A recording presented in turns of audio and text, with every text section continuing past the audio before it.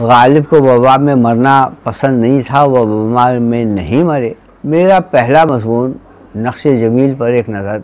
अलामा तालिब जौहरी ने जब अपने मरसिया पहला कहा तो उसके अंदर एक मिसरा है।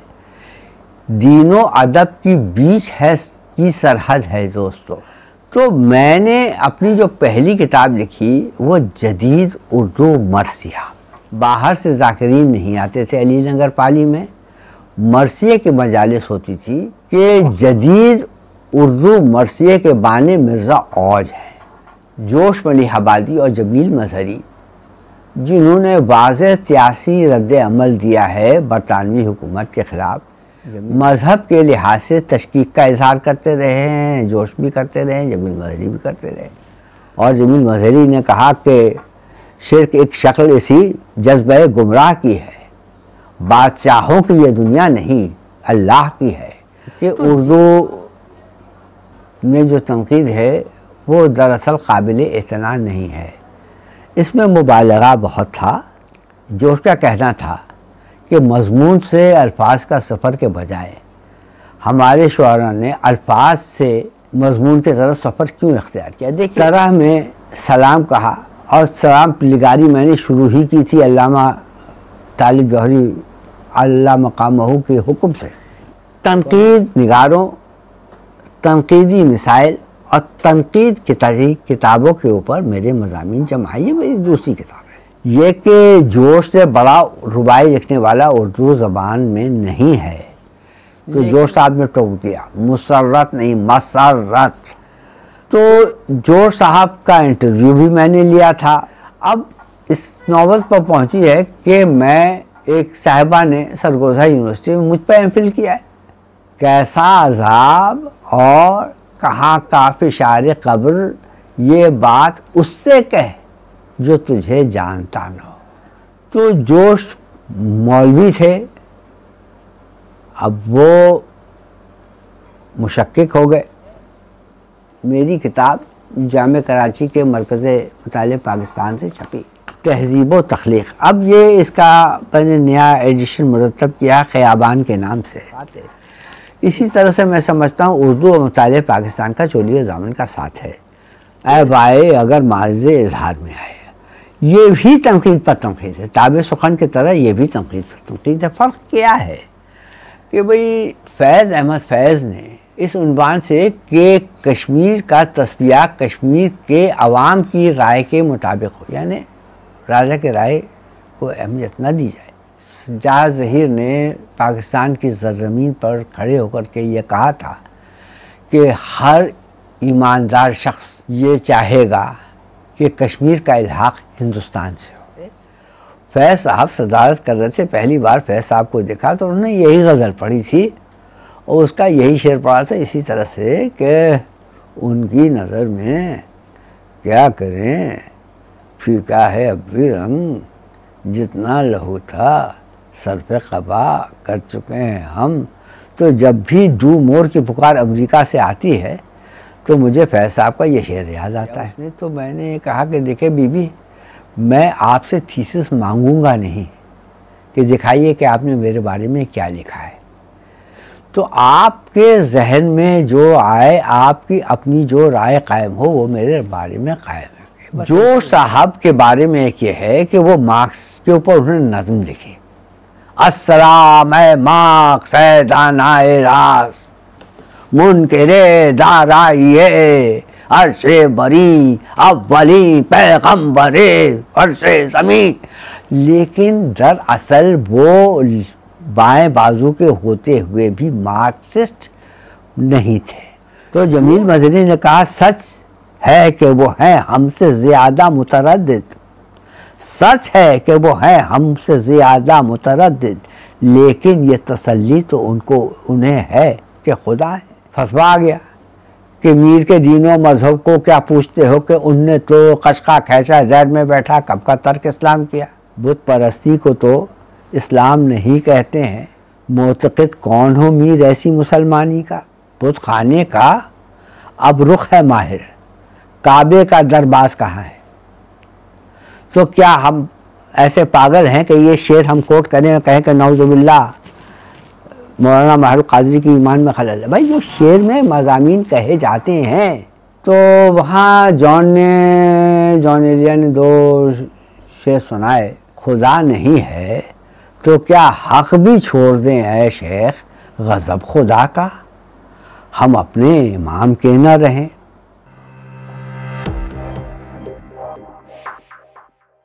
असलम दोस्तों मैं हूँ मोहम्मद काजिम। आज मैं जो हूँ वो दोबारा प्रोफेसर मोहम्मद रज़ा काजमी साहब के घर पे मौजूद हूँ। और आज जो है वो हम लोग इनसे उर्दू लिटरेचर के ऊपर बात करेंगे जदीद मरसियों के ऊपर बात करेंगे आ, मीर अनीस मिर्ज़ा दबीर मिर्ज़ा गालिब और जोश मेली आबादी के ऊपर इनसे गुफ्तु करेंगे। आइए मिलते हैं जनाब प्रोफेसर मोहम्मद रज़ा काजमी साहब से। आउज़बिल्लिनशैतानरजीम बसमीम मेरा नाम मोहम्मद रज़ा काजमी, इब्न मुसी रज़ा काजमी है। मैं 1945 को शहर बम्बई में पैदा हुआ। चूँकि इस साल जून का महीना ले लीजिए कितना भारी पड़ा है, ऐसी ऐसी हस्तियाँ उठ गई, जिनमें अदब के शोबे के भी लोग थे, शेर थे, कितना नाम लो अल्लामा तालिब जौहरी उठ गए। तो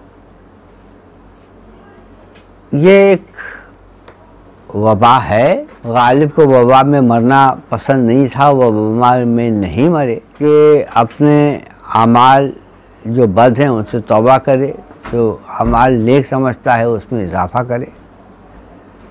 और अल्लाह की रहमत पर भरोसा करे। इसलिए गालिब ने जो एक शेर कहा है मनकबत का, चूँकि मन मैं दूसरा मिसरा नहीं सुनाऊँगा, अमदन। तकिए बर मखफरत उस नबत आते खीश।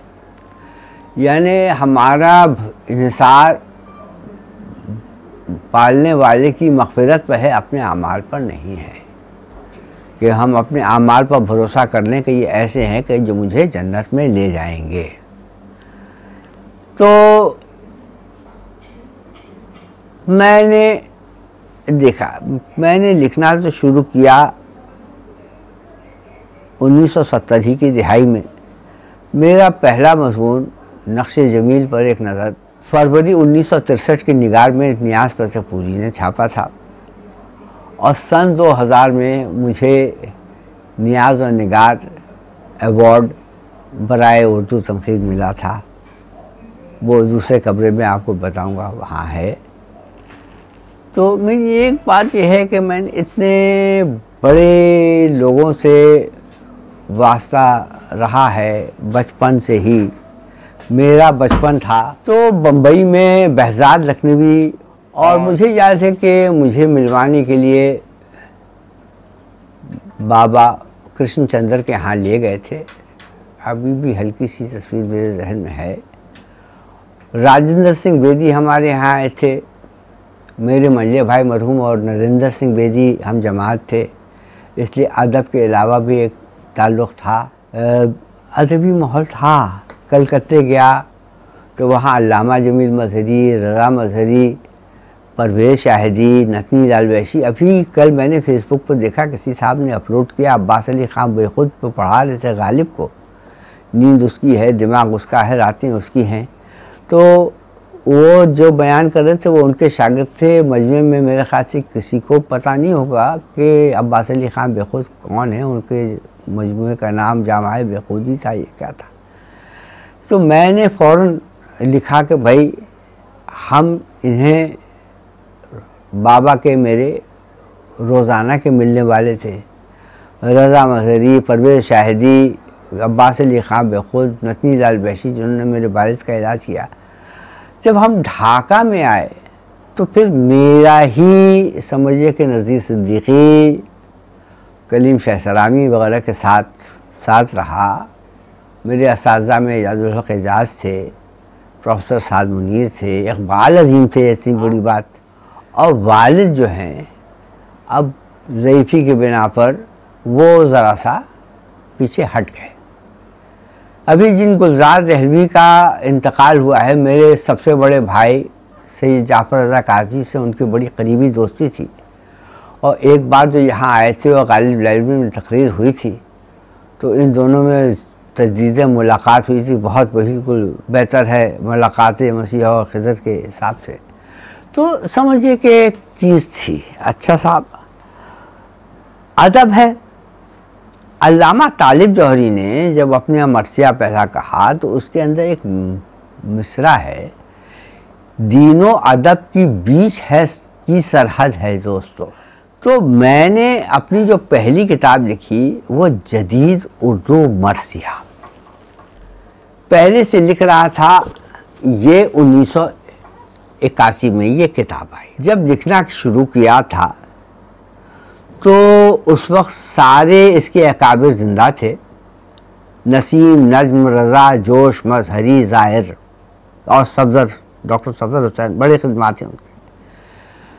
मगर छपने गई तो उस वक्त आल रज़ा भी जा चुके थे, जमील मजहरी भी जा चुके थे, ज़ाहिर साहब जा चुके थे, बहुत पहले सफदर साहब भी जा चुके थे। तो बहरहाल ये किताब थी, बचपन से हम मुहर्रम में जाते थे अपनी बस्ती में। तो वहाँ मीर अनीस, मीर वहीद और ताशुक के मरसे पढ़े जाते थे। बाहर से जाकरीन नहीं आते थे अली नगर पाली में। मरसिए की मजालिस होती थी और हर साल हर जगह कौन सा मरसिया या किस शायर का मरसिया पढ़ा जाएगा, ये मुकर था।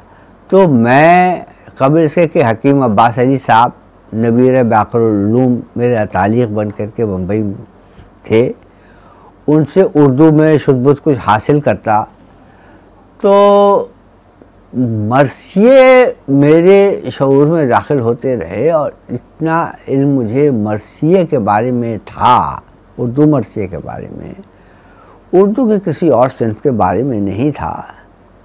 तो अल्लामा जमील मजहरी ने वहाँ से मुझे ख़त लिखा कि तुम मजमून नहीं लिखो, तुम इसको एक थीसिस का मौजू बनाओ।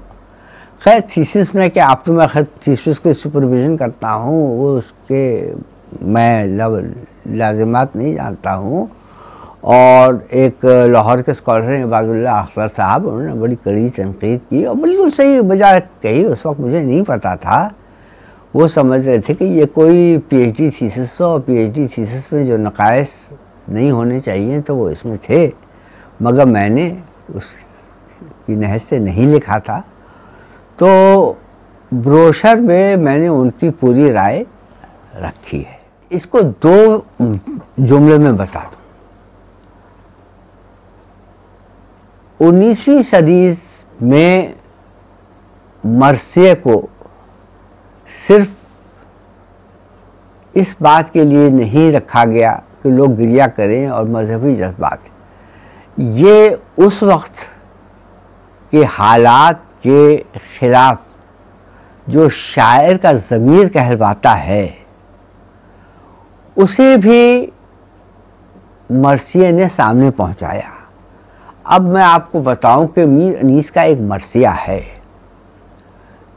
कि जब शाह को मोहलत न मिली, तोहफे हरम की उसमें उन्होंने बतौर अहम जो कूफे में गदर के दौरान वाक़ात हुए, गद्दारी कोफा में जो वाक़ात हुए उसको इस तरह से बयान किया जाए कि लखनऊ के गज़र की तस्वीर आ जाती थी।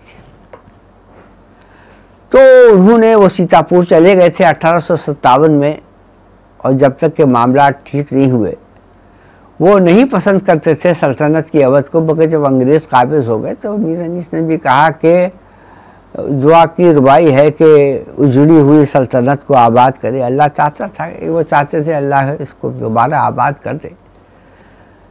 तो इसका पहला जो चैप्टर है, वो है जदीद मुर्सिया और मीरास अनीस। ये आजकल के मीर अनीस नंबर में भी छपा था। मीर अनीस। उसके बाद मिर्ज़ा और आते हैं, ये दबीर के बेटे हैं। जितने रवायती दबीर थे, उतने इनकलाबी औज थे। उन्होंने सबसे पहले तो ये किया कि उन्होंने जो रस्मी अनासर हैं, रजीफ व काफिया क्या शय है जानते ही नहीं, ये शाहजादे तलाक़त जबा की दिखला के गए जहाद कायल सभों को फरमा के, और हम सब काश जहन्नम ही में जाते मौला, आप गुर्बत में कभी सर न कटाते मौला। वो अपनी ज़बान में पढ़ने के लिए ख़ासी कौमी अनासर को उन्होंने मरसिए में शामिल किया। इसलिए मैंने कहा है कि जदीद उर्दू मरसिए के बाने मिर्ज़ा औज है। उसके बाद ज़ाहिर जोश वली आबादी का नाम आता है। मैंने दो आदमी यहाँ पर हैं, इसमें जोश मली हबादी और जमील मजहरी। जिन्होंने वाज सियासी रद्द अमल दिया है बरतानवी हुकूमत के ख़िलाफ़, जमील मजहरी जेल भी गए। तो देखिए कि क्या है? मुशक्क शायर है, जिसको अंग्रेज़ी में स्केप्टिक कहते हैं। मज़हब के लिहाज से तशकीक का इजहार करते रहे हैं, जोश भी करते रहे जमील मजहरी भी करते रहे मगर दोनों मरसिया भी लिखते रहे और मरसिए में कौमी आज़ादी के जज्बे को वो महमेज करते रहे। यानी उन्होंने एक कौमी नज़म बनाया मरसिए को। और जोश साहब कहते हैं, करबला ताज को बर्दाश्त नहीं कर सकती है। और जमील मजहरी ने कहा कि शिरक एक शक्ल इसी जज्ब गुमराह की है। बादशाहों की ये दुनिया नहीं, अल्लाह की है। तो ये एक मजहबी सिंफ से जो एक बलबा ललकार आ रही थी, वो आ रही थी और तरक्की पसंद मरसी निगारों में दो और शख्सियत का मैंने नाम लिया अगरचे उनके मुख्तसर मरसी हैं, छोटे हैं, फैज़ अहमद फैज़ और अली सरदार जाफरी। इसलिए कि एक मकतब के बारे में आप लिखते हैं तो उसके बारे में पूरा करना होता है। उसके बाद मैंने नौ क्लासिकी मरसिए में सैद अली रज़ा, नसीम अमरूवी नजम आफंदी, ज़ायर सीतापुरी डॉक्टर सैयद सफदर हुसैन और अल्लामा तालिब जौहरी पर अब्बाब शामिल किए हैं। उस वक्त अल्लामा तालिब जौहरी ने एक ही मरसिया कहा था, वजूद बारी पर।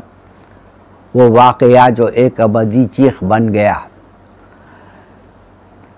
हर चीज़ इश्तियार है उम्मीद बीम है। इस पर यह इद्या है कि आलम कदीम है। देखिए, हम कदीम कहते हैं उर्दू में बानी पुराने के। इस्तलाहन कदीम कहते हैं एटर्नल को, जो हमेशा से है, हमेशा रहेगा। तो खासी फलसफियाना मबाहस थी, उनका मरसिया इस कदर मुनफरद था कि मुझे उनसे ज़ाती रबता होता न होता, मजमून का तकाजा था उनके मरसिए का तकाजा था कि जदीद उर्दू मरसिए पर उन पर लहदाबाद कायम हो, सो मैंने किया। किताबें आनी शुरू हुई। ज़मीर अख्तर नकवी की उर्दू मरसिया पाकिस्तान में। और डॉक्टर हिलाल नकवी की थीसिस है। बीसवीं सदी और जीदी मरसिया उनकी पीएचडी की थीसिस है। असद जुरैब साहब की एक किताब है और मरसे के नहीं एक और किताब भी हाल में आई है। देखिए, हम लोग आपस में इख्तलाफ करते हैं, मगर देखिए कि एक दूसरे के जो खदमात हैं उनका ज़िक्र जो है लाजमी और वाजिब जानते हैं। इसलिए कि राय की अहमियत नहीं है। आदमी के कारनामे का ज़िक्र चाहिए कि आइंदा की नस्लें आज़ादाना तौर पर उन्हीं मर किताबों से अपनी दूसरी राय कायम कर सकते हैं। अफसोस ये है कि जब मैं जदीद उर्दू मरसिया लिख रहा था, उस वक्त ये बहस थी कि मरसे का जदीद मरसे का बानी कौन है? कोई कहता था जोश, कोई जोश कहते थे, आल रज़ा है। कोई नसीम साहब का नाम लेता है कि 1923 में मरसे आया। मैंने कहा कि भाई जदीद मरसे के बानी मिर्ज़ा औज हैं।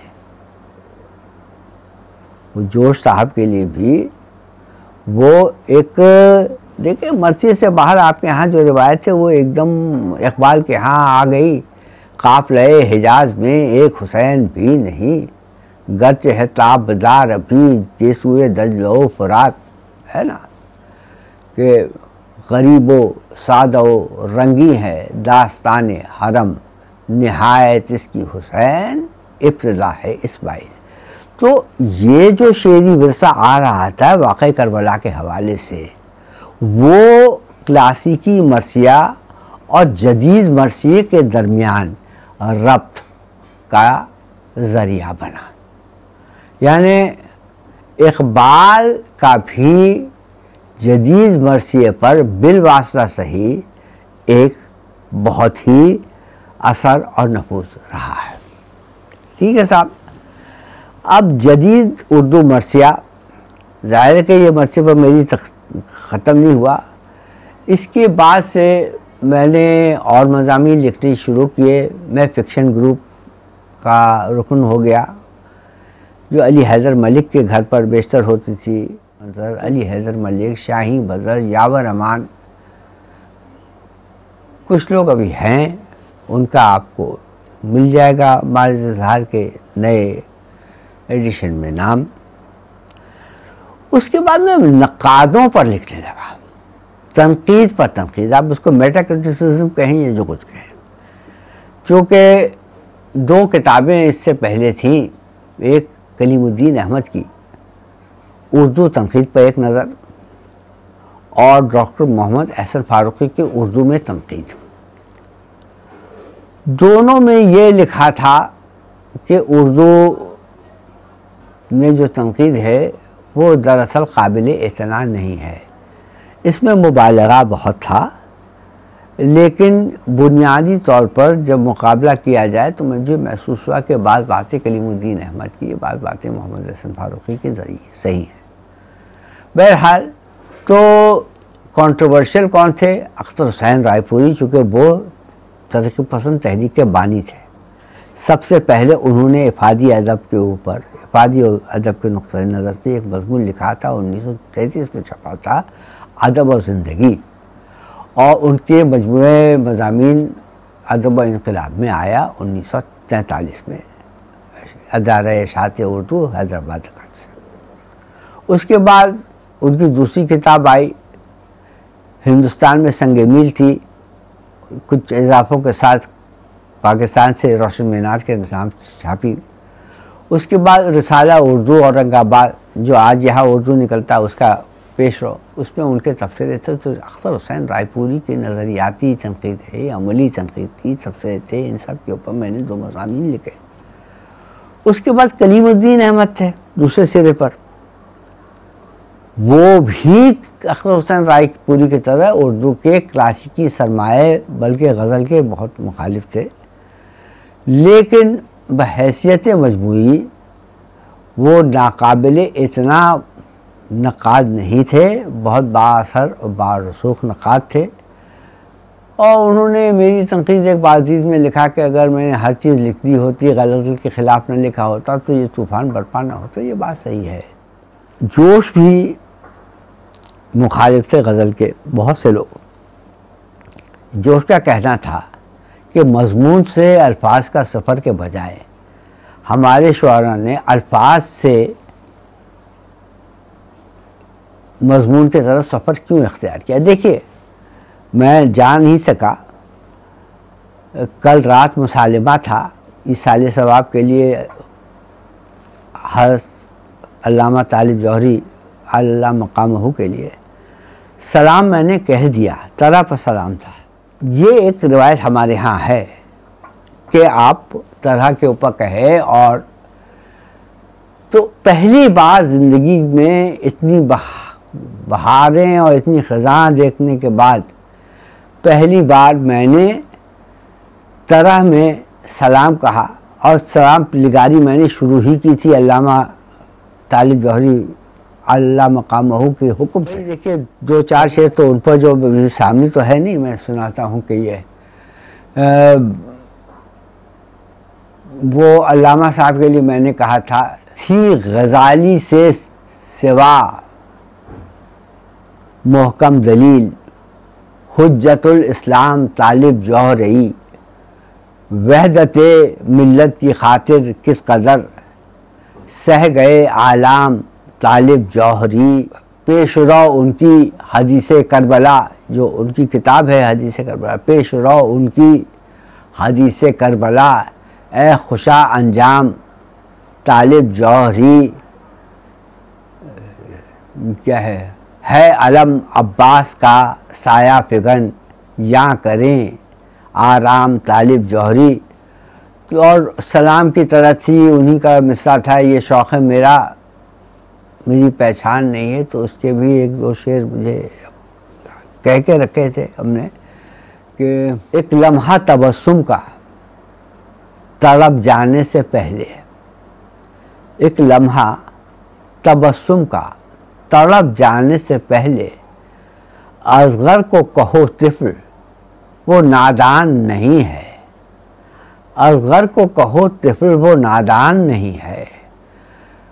तो अब चूँकि ये तरह का शेर है, कल रात मुझे पढ़ना था, अपनी अदालत के सबब मैं वहाँ नहीं पहुँच सका।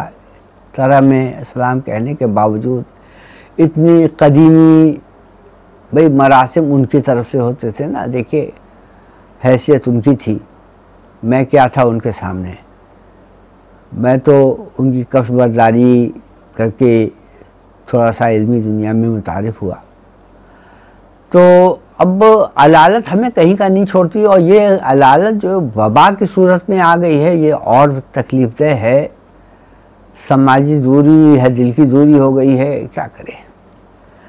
तो उसमें मुमताज़ हुसैन पर है। मुमताज़ हुसैन की किताब नक़द हार आई थी थी। मैंने उनकी ज़िंदगी में वो मजमून लिख दिया था। लेकिन अफसोस के उन्नीस सौ बानवे में अख्तर हुसैन रायपुरी, मुमताज़ हुसैन दोनों यहाँ से चले गए। और वो शाया उनकी ज़िंदगी में नहीं हो सका। अब एक चीज़ जो आपको मेरी किताबों से बिल्कुल पता नहीं चलेगी, मगर इसलिए मुझे आपको बताना है कि उर्दू के जिन नक़ादों से मुझे ज़्यादा क़ुरबत रही है, उनमें सर फहरिस्त हैं प्रोफेसर मुशतबा हुसैन। मैं घर पर जाता था। भाई, मेरा, मेरी जवानी का दौर था। तो बच्चे शोर करते थे, दादा के दोस्त आ गए हैं, दादा के दोस्त आ गए हैं। तो है ये कि बाज़ अवकात किसी पर आदमी नहीं लिख पाता। देखिए, सिर्फ़ मश्क से नहीं होता वहशत कलकत्ती का शेर है। फ़रोग तब खुदादाद अगरचे था वहशत। रियाज हमने, रियाज कम न किया हमने कस्बे फ़न के लिए। अब ये वाक़ बताता हूँ। हम लोग जनाब जावेद हुसैन साहब, जो कि मॉर्निंग न्यूज़ के एडिटर हुआ करते थे, बहुत अच्छे इनकलाबी शायर भी थे, उनके घर पर बैठे हुए थे। मुशतबा हुसैन साहब आ चुके थे, मैं आ चुका था सहर अंसारी आ चुके थे। और अज़ीज़ हामिद मदनी का इंतज़ार हो रहा था। तो मुशतबा साहब ने मुझसे कहा कि तुम मदनी पर क्यों नहीं लिखते? मैंने कहा, मुश्किल काम है। कि मुश्किल क्यों है? वो साहिब तर्ज है। हमने कहा बास तर्ज सामने की होती है। वो इतना ही मैं कह पाया था कि मदनी साहब ले, तशरीफ़ ले आए और ज़ाहिर कि वो गुफ्तु वहाँ रह गई। मदनी बहुत ही आला शायर हैं। ज़बान सहल होने के बावजूद वो एक मुश्किल शायर भी हैं, चूँकि जिस किस्म के जज्बात और एहसास को वो आपके सामने पहुंचाते थे, एक नक़ात के लिए एक पढ़ने वाले तक पहुंचाना बड़ा मुश्किल है। तो जो लिख सका वो आपके सामने है, जो नहीं लिख सका, देखिए अब ये है ताब सुखन इसमें तनकीद निगारों, तनकीदी मिसाइल और तनकीद की किताबों के ऊपर मेरे मजामी जमा ये मेरी दूसरी किताब है। मरसिया के बाद से, जदीद उर्दू बरसे के बाद से ताब सुखन आई इस पर तनकीद पर तनकीद है। ठीक है? ये आई उन्नीस सौ चौरानवे में। ये भी मकतब अदब की तरफ़ से आई थी। उसके बाद जनाब उन्नीस सौ पचानवे में जोश मलिहाबादी की सत साल सालगिरह मनाई गई यहाँ कराची में, हैदराबाद में। तो मैं ने उस हिसाब से ये किताब लिख के रखी थी। ये मेरे बहुत अज़ीज़ दोस्त मोहम्मद रज़ा नकवी, उनके बड़े भाई थे सफ़ी रज़ा नकवी, उन्होंने छाया की थी। नकोश जोश, ये पहला एडिशन है इसका। और 2018 में इसका दूसरा एडिशन आ गया है। वजह क्या है कि जब पहला एडिशन लिख रहा था तो हुआ ये कि बहुत से उनवाना जोश साहब पर मैंने छोड़ दिए। मसलन ये कि जोश से बड़ा रुबाई लिखने वाला उर्दू ज़बान में नहीं है। लेकिन मुझे याद था कि बम्बई में जब ख़याबान निकलता था, मेरी मरहुमा बहन एडिट करती थी इंसलाम मेरे बड़े भाई करते थे, वो आपको देख लेंगे उसमें। तो उसके लिए मेरे वालिद ज़रूर अंसारी से कहा कि आप जोश की रवायात पर मजमून लिखिए। तो चाय आ गई, उन्होंने एक सिगरेट सुलगाया और पेंसिल लेकर के पेंसिल बर्दाश्ता, कलम बर्दाश्त, उन्होंने वो मजमून लिख दिया, जोश की रुबाइयात जो उनके मजमू मजमी ज़बान बयान में भी शामिल है, जो उन्नीस सौ उनसठ में आया। उस, वो मेरे घर में मेरे वालिद की ईमा से लिखा गया तो चूँकि मैं जोश पर लिख रहा था, एहतरामन मैंने रुबाइयात जोश पर उस वक्त नहीं लिखा। अब जब ये जश्न मनाने की बारी आई तो मुझे कोई और मजमून सूझा नहीं। तो फिर मैंने वहाँ हैदराबाद में एक सेशन हुआ था तो वहाँ जाकर के मैंने रुबाइयात जोश के ऊपर अपना मजमून पढ़ा जो नए एडिशन में शामिल है। बहुत सी चीज़ें इसमें हैं। इरफानियात जोश हैं। जोश की एक नज़म है, एक याद और सदा पहलू। उसके तीन वर्जन हैं। तीनों वर्जन को कंपेयर करके मैंने जोश के उसलूब कलाम को तर्ज इजहार की करीब हासिल करने की कोशिश की। डिसाइफर करने की कोशिश की जैसे कि जो मगरब में क्या हो रहा था? स्ट्रक्चरलिज्म आया, फिर पोस्ट स्ट्रक्चरलिज्म आया डीकंस्ट्रक्शन आया और उन्नीस में जो नया एक और आया जिसको कहते हैं स्टाइलिस्टिक्स मैंने जोश का उसलूबी मुताल किया है। तो कॉन्सोनेंट्स और वॉवल्स चेक करके नहीं, मैंने दिखाया है कि एक शायर एक नज़म के तीन वर्जन देता है। तो जो तब्दीली करता है, वो तब्दीली क्या जवाब रखती है? और तब्दीली बेहतरी की तरफ़ है या कमतर हो जाती है? तो एक बार मैंने जोश साहब के सामने पूछा, उनसे पूछा कि आपका मिसरा है, दीबाचा मातम को मुसरत नहीं कहते। तो जोश साहब ने टोक दिया मुसरत नहीं मसरत तो सवाल का जवाब मैंने नहीं मिला। बहरहाल इसलाह हो गई। तो ज़ोर साहब का इंटरव्यू भी मैंने लिया था। ज़ोर साहब के पास जाता भी था। जैसे आप देखेंगे कि मीडिया पर अब आ गया है जोश पर मेरा इंटरव्यू कि किताब उनकी मिलती से ऑटोग्राफ कराने पहुँच जाता था। उनके नसर और नज़म और शख्सियत के ऊपर मैंने खसूस जोश में लिहाबाजी के ख़िलाफ़ पर के शा करने के ख़िलाफ़ देखिए किसी के ज़ाती खसूस होते हैं। आप उसके इजाज़त के बगैर उन्हें शाया नहीं कर सकते हैं। मैं देखिए, अगर हँसी मज़ाक करूँगा तो मेरे शागिर्दों का तो इसका कोई अंदाज़ा नहीं होगा कि ये शख्स हँसी फंसता भी है, लतीफ़े भी सुनाता है, लतीफ़े से लफ्संदोज भी होता है। मगर मेरे बचपन के जो साथी हैं, उनमें बहुत सारे इस भी हैं, वो हम आपस में बैठते हैं तो हम लतीफ़े बाजी भी करते हैं, शेर भी सुनाते हैं, कुछ गानों की और मौसीकी का तस्करा भी कर लेते हैं, फ़िल्मों का तस्करा करते हैं गैर रस्मी गुफ्तु में चीज़ें आउट होती हैं। अब मेरी उन चीज़ों को कोई लेकर के छाप दे, बगैर मेरे, मैं इजाज़त दे दूँ तो? अब हाँ अब देखिए ना उर्दू तहकीक में मसला ये हुआ है कि बग़ैर के जितने अहम उनवाना थे या शख्सियात थे, वो सर्फ हो गए।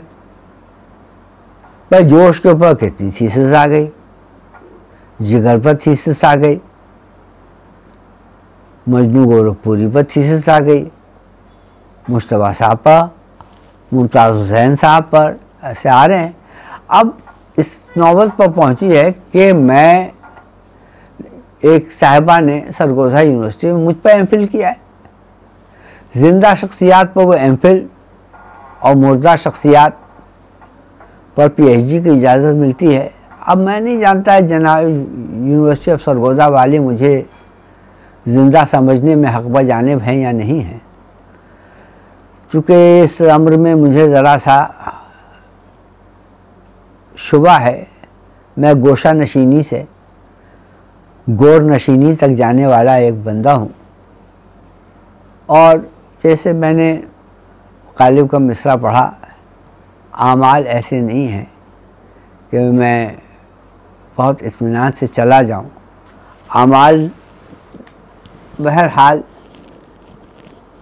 बहुत अच्छे भी हों, हज भी किया हो, ज़क़़त भी दिया हो, बहरहाल ऐसे नहीं होते। कि आदमी इस तरह से चला जाए, लेकिन मैं एक ज़मीन में जोश मलिहाबादी का एक गैर मतबूआ शेर सुनाता हूँ। उनके किसी मजमू कलाम में नहीं, मगर उन्होंने एक मुशायरे में पढ़ा था जिसमें जनाब सबा अकबर आबादी भी मौजूद थे। सबा अकबर आबादी को वो शेर याद रह गया था और जोश साहब अपने मजमून में उन्होंने वो शेर लिख दिया, उसको आप सुन लीजिए। वो शेर ये है कि कैसा अजाब और कहाँ का फिशार कब्र कैसा अजाब और कहाँ का फिशार कब्र ये बात उससे कह जो तुझे जानता न हो। तो देखिए, ये दाग जैसों का शेर है मगर देखिए कि जोश साहब अव्वलन मौलाना जोश मलिहाबादी हुआ करते थे और अकबर इलाहाबादी ने भी जो पहले मजमू के बारे में लिखा है, वो ये है कि मारफत इलाही को खूब नज़म करते हैं। तो जोश मौलवी थे, अब वो मुशक्क हो गए। बहरहाल, जोश साहब चूँकि इस बीसवीं जो सदी जो गुजरी है,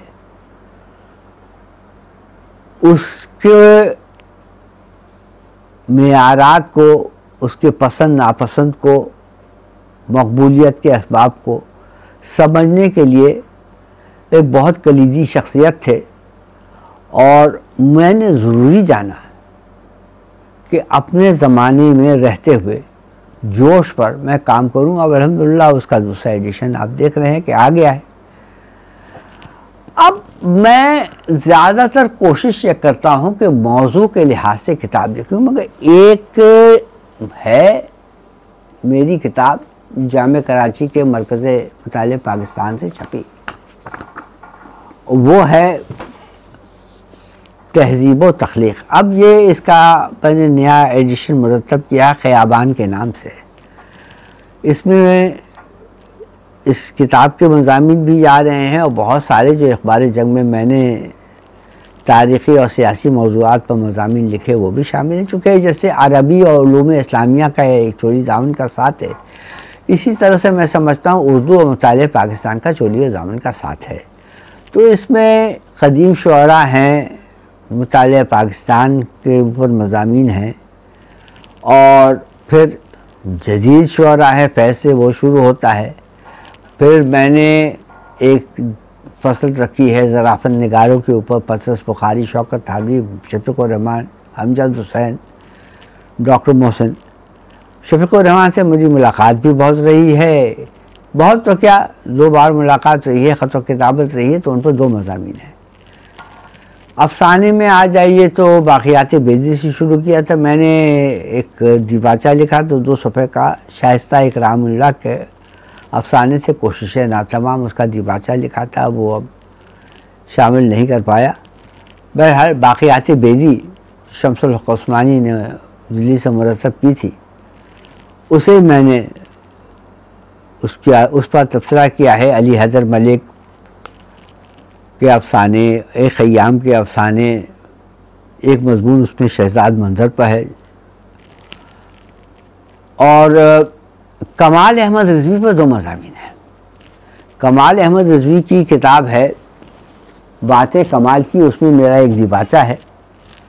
और उस, उनके साने इरतहाल के बाद मैंने उन पर एक मजमून लिखा है, पाकिस्तान शनासी के लिए, जो ख़याबान में इंशाल्लाह आ जाएगा। आप देखें, मेरे हयात में आता है या नहीं आता वो है कमाल अहमद रज़ी, उर्दू में तमसील निगारी का आगाज़ और इरतका यानी मैंने स्टेज से लेकर के टेलीविज़न तक, स्टेज, रेडियो, टेलीविज़न तक जो उनके थे, वो किए। ज़राफ़त भी मेरा एक शोबा रहा है। और अफसोस कि मैं नजमुल हसन रजवी की किताब बदमाशी निज़ाम पर मैं नहीं लिख सका गच्चे उसमें उन्होंने ताबिर सुखन का बड़ी मोहब्बत से ज़िक्र किया है। ये आखिरी किताब, देखिए इसका नया एडिशन है, ये है मारज इजहार। ए भाई, अगर मारज इजहार में आए, ये भी तनकीद पर तनकीद है। ताब सुखन की तरह ये भी तनकीद पर तनकीद है। फ़र्क क्या है? तनकीद निगारों के ऊपर एक फ़सल इसमें भी है, ख़याबान में भी आ रही है और तहजीब तख्लीक में भी थी।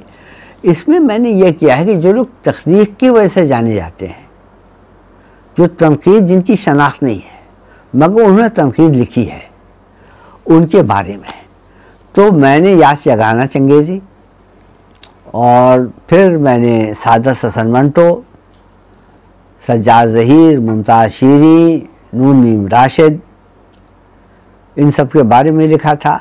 अब नए एडिशन के लिए मैंने दो मजामी जो हैं ज़मीन मजहरी पर लिया है, मैंने अरमगान फैज़ान गालिब से नखूश जोश से मैंने जोश की तनकीद निगारी इसमें ले ली है। और दो नए मजामी लिखे, डॉक्टर मोहम्मदीन तासीर की तनकीद निगारी और फैज़ अहमद फैज़ की तनकीद निगारी। फैज़ अहमद फैज़ की जो अंग्रेज़ी किताब आई थी तो इसका तारफ़ मैंने लिखा था। तो ये अंग्रेज़ी मजामी पर मैंने दिबाचा जब लिखा तो पंद्रह साल से लोग मुझसे कह रहे थे कि भाई आप हर तनकीद निगार पर लिख रहे हैं आपने मारज इजहार भी लिख दी। आखिर फैज़ की उर्दू तहरीरें जो हैं, उस पर क्यों नहीं लिखते हैं? तो वो मेरे जहन में रहा यह सवाल। तो मैंने ये जो है आपकी मारज इजहार का नए एडिशन के लिए कर लिया। मैं हूँ बाएँ बाजू का, लेकिन जैसे हमारे बहुत ही मोहतरम फ़तेह मोहम्मद मलिक हैं, कि हम अपनी वतन की कदर करना जानते हैं। हुक्मरान आते हैं, हुक्मरान जाते हैं, हम शिकायत करते हैं, हम मदद करते हैं। मुल्क अल्लाह इसको सलामत रखे। तो बाएँ बाजू की तरफ़ होने के बावजूद सज्जाद जहीर पर मैंने बड़ी कड़ी तनकीद की है। इसलिए कि देखिए, और तासीस वाले मजमून में अब आ रहा है, वो भी मजमून शामिल होगा, सज्जाद जहीर पर मजमून भी उस किताब में आ जाएगा। कि भाई, फैज़ अहमद फैज़ ने एक करारदाद तहरीर की इस उनवान से कि कश्मीर का तस्बिया, कश्मीर के आवाम की राय के मुताबिक हो, यानी राजा के राय को अहमियत न दी जाए। और ये उसे उन्हें पेश करना था। अंजुमन तरक् पसंद मुसनफ़िन पाकिस्तान के पहले इजलास में। लेकिन सज्जाद ज़हीर उनके हमनवाओं ने फैज़ अहमद फैज़ को ये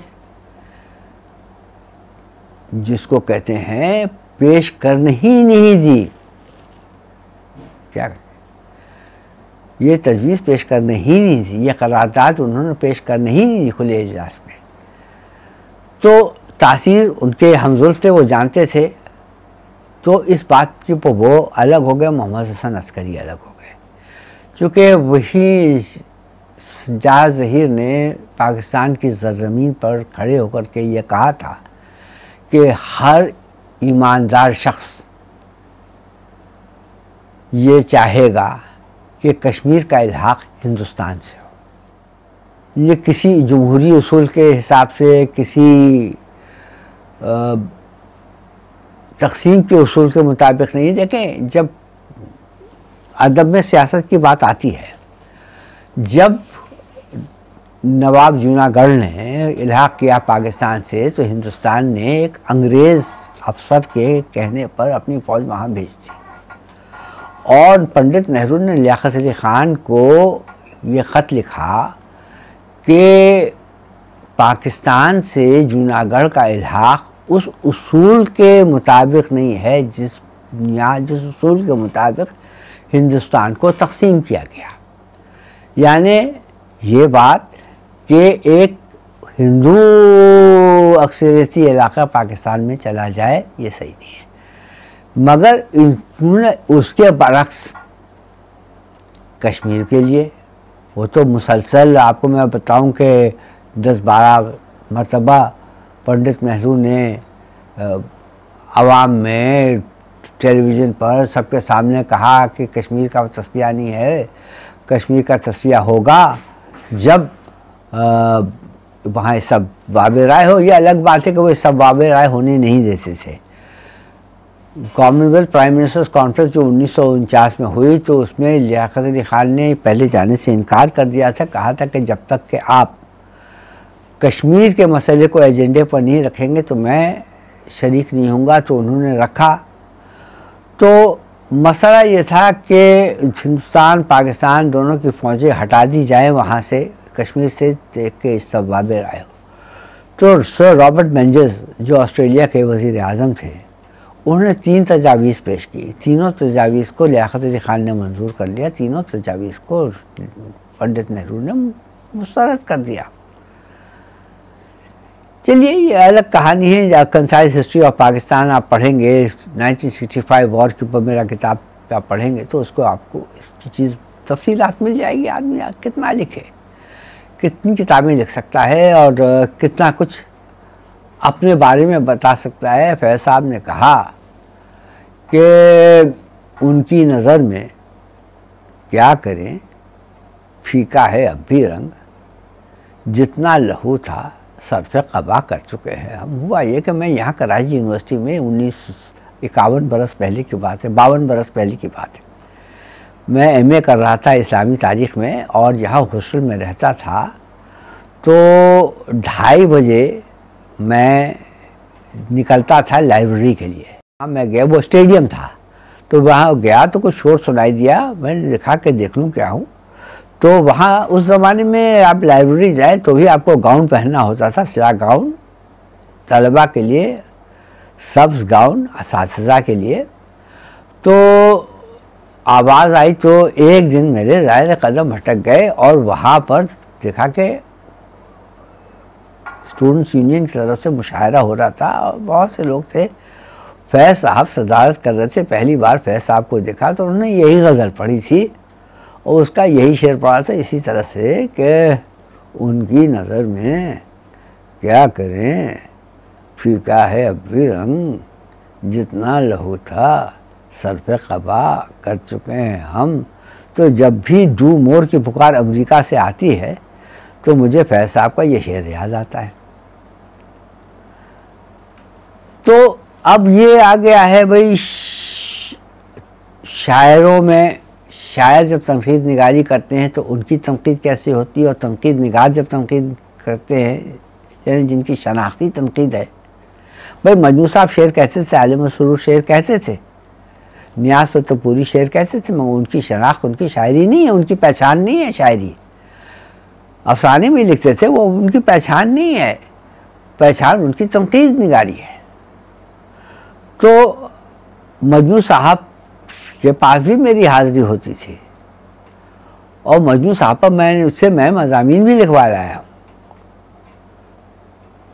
लेकिन यहाँ भी मजनू साहब पर लिख नहीं पाया। शायद अगर अल्लाह ज़िंदगी दे, अल्लाह तोफ़ी और सेहत दे तो वो यकीनन ऐसे दोनों हैं मुशतबा हुसैन और ज़ाहिर है कि मजनू गोरखपुरी मुशतबा हुसैन ऐसे अफराद हैं जिनके बारे में लिखना चाहिए और मैं इस उम्मीद में हूँ कि मुझसे बेहतर लिखने वाले मौजूद हैं, आज भी मौजूद हैं, कल तो और ज़्यादा थे। तो आपको एक चीज़ मैं बता दूँ कि अभी ऐड को लैब देखिए, नाशुक्री गलत बात है एट को लैब की लिटरेरी सोसाइटी है। तो उसने मेरे एजाज़ में, मेरी तहरीरों के एजाज़ में एक समझिए जश्न कहिए जो है वो रखा, जिसका मुझे ममनून होना चाहिए, मैं ममनून हूँ।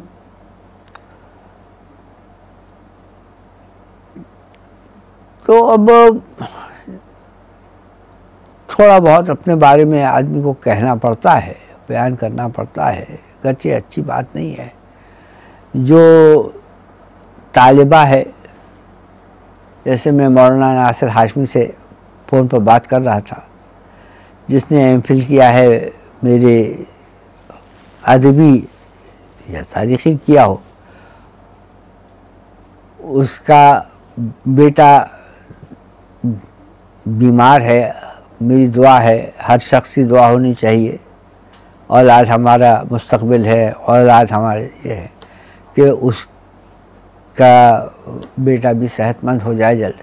तो वो जब आई थी इंटरव्यू करने के लिए, दो बार इंटरव्यू किया उसने तो मैंने कहा कि, देखे बीबी मैं आपसे थीसिस मांगूँगा नहीं कि दिखाइए कि आपने मेरे बारे में क्या लिखा है।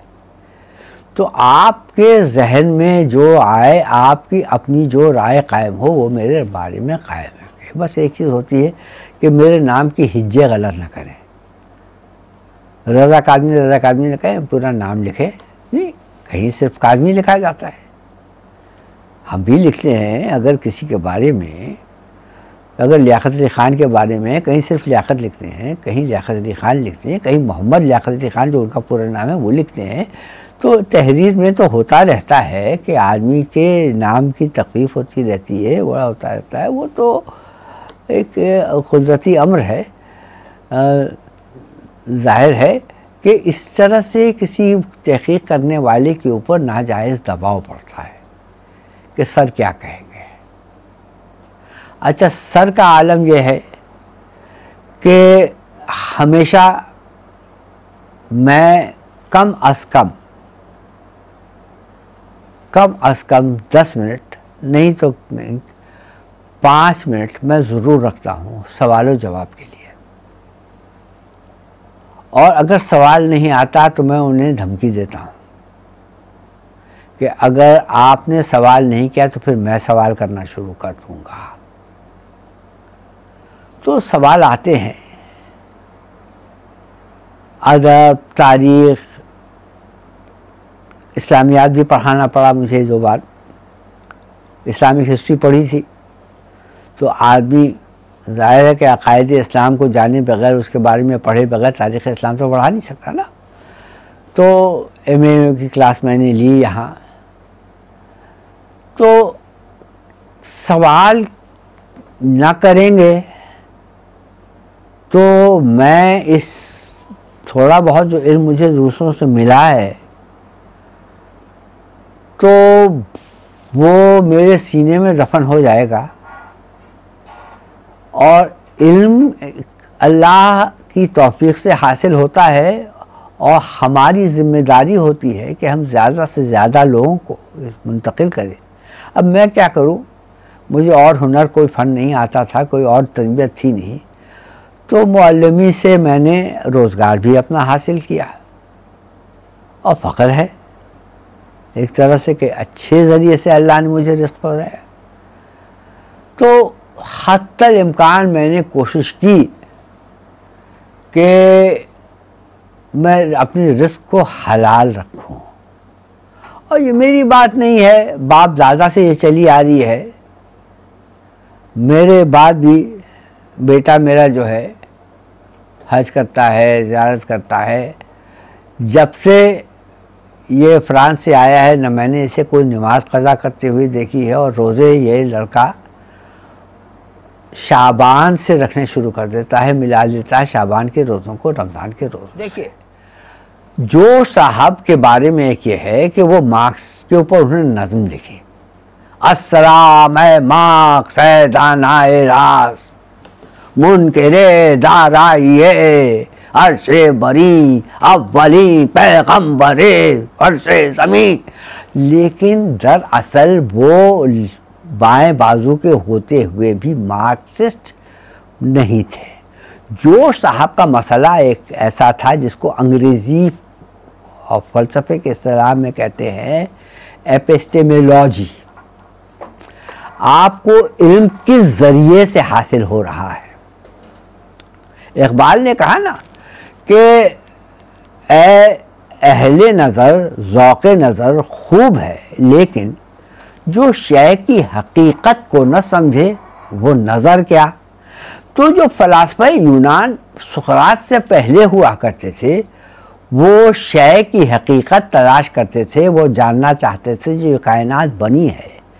ये जो कायनात की तश्कील हुई, इसकी ऑन्टोलॉजी क्या है कि ये इसका सबसे बुनियादी अंसर क्या है? आप जानते हैं, आतश बुखा को बाद। तो कोई कहता था आतश, कोई कहता था हवा, कोई कहता था बाद।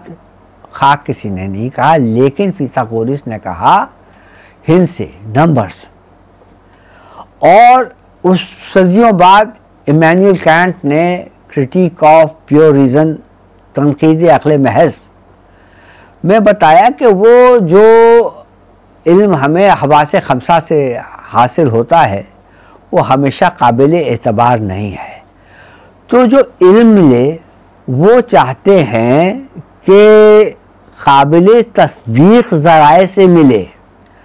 तो जोश की नज़म मुनाजात मुनाजात क्या होते हैं? खुदा के हुजूर मुनाजात होती है। तो उसके अंदर जोश को समझें। अगर अक्ल बंदे की है मुजमहिल तो उसकी तरफ़ से न कर सख्त दिल। दिखा राह तमकी खुदाया मुझे। न ठुकरा न ठुकरा न ठुकरा मुझे। और आगे इसके बारे में कि ये वो लफ्ज़ है बेबेकारो नहीं जो कुरान में एक बार आया नहीं। कह रहा कि मैं खुदा को नहीं मानता हूँ। और हवाला दे रहा है वो कुरान का। ठीक है ना? खिरत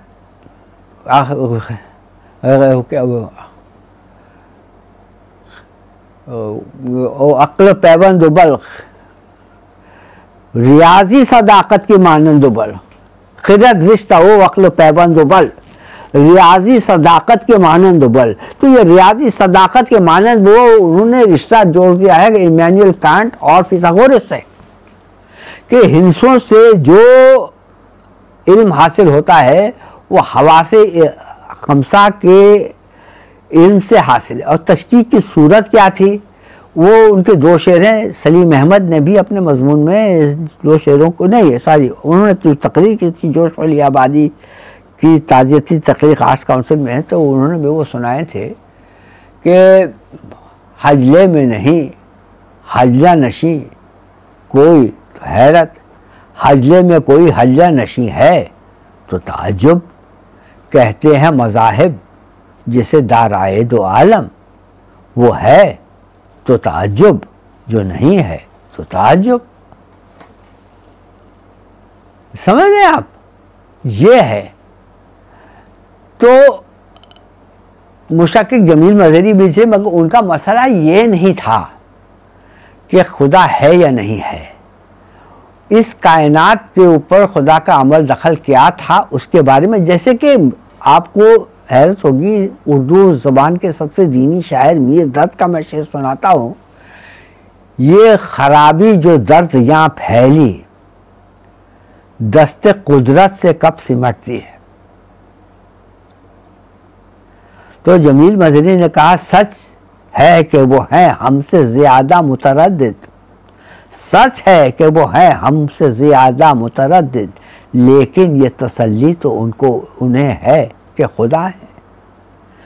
तो इस बात पर मुमताज़ हुसैन ने भी एक इशारा किया है। लेकिन बहरहाल, अपनी ज़ाती ज़िंदगी में, जैसे उन्होंने अली हैदर मलिक को एक इंटरव्यू में कहा भी है, उन्होंने कहा कि, भाई, आपके बारे में मुख्तलिफ़ बातें सुनना यहाँ में आती हैं। मलिक ने पूछा बरूम ने कि कोई कहता है, आप देहरी हैं, कोई कहता है, आप पक्के मुसलमान हैं, कोई है, आप आपकी ज़बान से समझना है, चाहते हैं कि आप क्या हैं? तो कर्ण का भाई, एक कायनात में एक क़वत है। एक तोानाई है।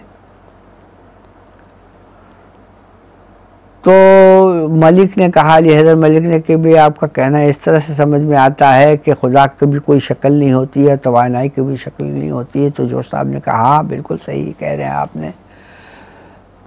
तो मलिक ने असल बात में कि ये तोानाई शूर है। है या बेशूर है?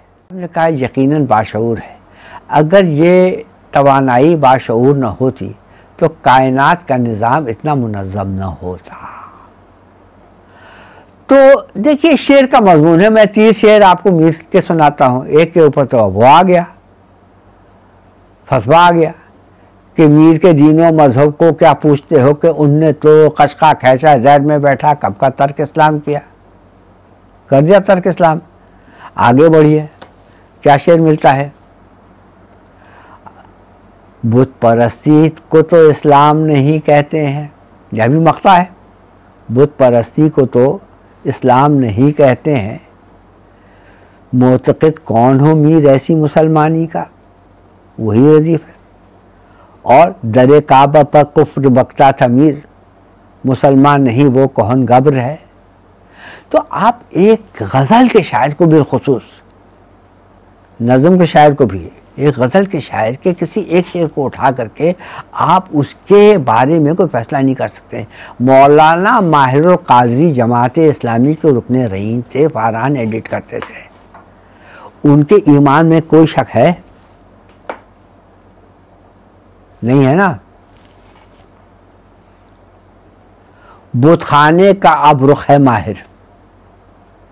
बुतखाने का अब रुख है माहिर। काबे का दरबाज कहाँ है?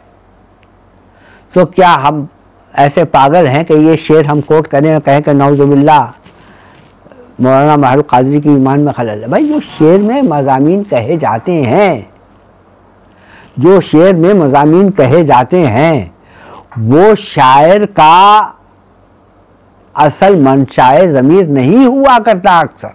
मुतजाद चीज़ें कहता है मुख्तलि मौके पर दूसरी चीज़ें कहता, जो तजुर्बा जैसे गुजरता जाता है, उसको कहता जाता है। भाई, मुझे एक मरतबा मौलाना माहिर काजी मिले तो मैंने मुशायरे में, रेडियो के मुशायरे में उनका एक शेर सुना था तो मैंने उनसे वो लिखवा लिया, वो अब मिल नहीं रहा है इस गंजान लाइब्रेरी में। वो मौलाना माहिर काजी का शेर आप सुने उन्होंने लिख के दस्खत कर दिए थे मेरे लिए तन्हाई के नाजुक लम्हों में। कुछ तुम ही से तारो बात करो। तन्हाई के नाजुक लम्हों में कुछ तुम ही से तारो बात करो। तुमने तो वो शब्द देखी होगी, जिस शब्द को सहर हो जाती है। तुमने मॉडल महरुल काजी का शेर है। अब आप कहेंगे कि भाई ये आसमान के ऊपर है। भाई ज़िंदगी कटी उनकी मजहबी शायरी करते हुए। एक ज़माने में फिल्मी शायरी भी करते थे। मेरा खिलौना टूटा। तो किसी के शेर से उसके अकीदे को ना तय करें। भाई, मैं सिर्फ़ दस बस्ता एक बात कहता हूँ। पच्चीस चीज़ कहते हैं हम लोग। तो एटको लैब के बारे में जब मैं स्टेज पर था, ये थे माशाल्लाह, इन्होंने भी वीडियो बनाई कि अपना डॉक्टर मुहिब रज़ा काजमी साहब ने उन्नीस सौ उनहत्तर में खालिफ सदी मनाई गई थी। नबी बाग ज़ियाउद्दीन कॉलेज सदर में था, उसके ऑडिटोरियम में, उसकी समाजगाह में तकरीर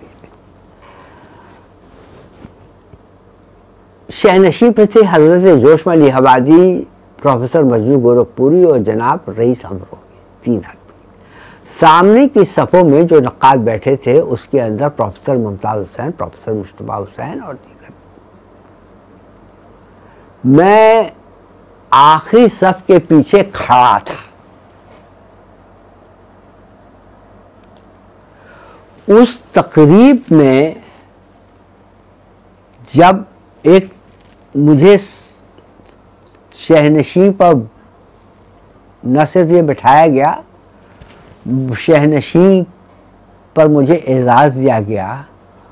तो शुक्रगुजारी तो बहुत थी, मगर मुझे वो लम्हा याद आ गया। और मैं उस वक्त ये सोच रहा था कि उन्नीस से 2018 में कितने लोग ख़त्म हो गए। जो पिछली सबके पीछे खड़ा हुआ है एक बंदा, आकर के शहनशी पर बैठा हुआ है आज। तकरीर कर रहा है। तारीख का भी तालब इम हूँ, अदब की भी तालब इम हूँ तो एक तारीख के लिहाज से भी चीज़ों को देखता हूँ। और ज़ाहिर है कि भाई बहुत सारी चीज़ें अगर आपको तारीख नहीं मालूम है, भाई दो हमारे यहाँ ऐसे आदमी गुजरे हैं जिन्होंने मुझे रास्ता दिखाया, शिबली नुमानी। एक तरफ़ सीरतुलनबी है सीरतुलनुमान है अल कलाम है तो दूसरी तरफ़ मवाजन यानी सदबीर भी है, शेरुलजम भी है। अज़ीज़ अहमद हैं। भाई, अंग्रेज़ी में क्या तारीख़ की किताबें उन्होंने लिखी हैं? The Islamic culture in the Indian environment. उससे बड़ी किताब है ये ऑक्सफोर्ड से उन्नीस सौ चौंसठ में है, उससे बड़ी किताब है कि Islamic modernism in India and Pakistan. उन्नीस सौ सड़सठ में आई थी, वो भी ऑक्सफोर्ड से आई थी। तो उसके बाद उन्होंने एक किताब लिखी तरक्की पसंद अदब। ये तरक्की पसंद अदब जब उसका असर नफूस था तैंतालीस या चवालीस वगैरह उसके बाद पाकिस्तान बनने के ही साल, मगर पाकिस्तान बनने से पहले उस सैतालीस में इकबाल नई तश्कील आई। उनके मजामी बिखरे रहे और उनके इंतकाल के बाद देखिए, यहाँ पर अगर मुझे मिल गए मताए अजीज़िया देखिए।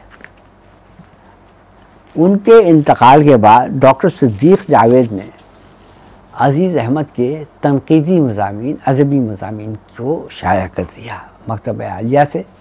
तो ये अल्लाह वारिस है, वो बिखरे हुए मजामी छोड़ गए थे और उनके जाने के बाद अब डॉक्टर सिद्दीक जावेद भी वहाँ पहुँच गए हैं जहाँ अज़ीज़ अहमद हैं।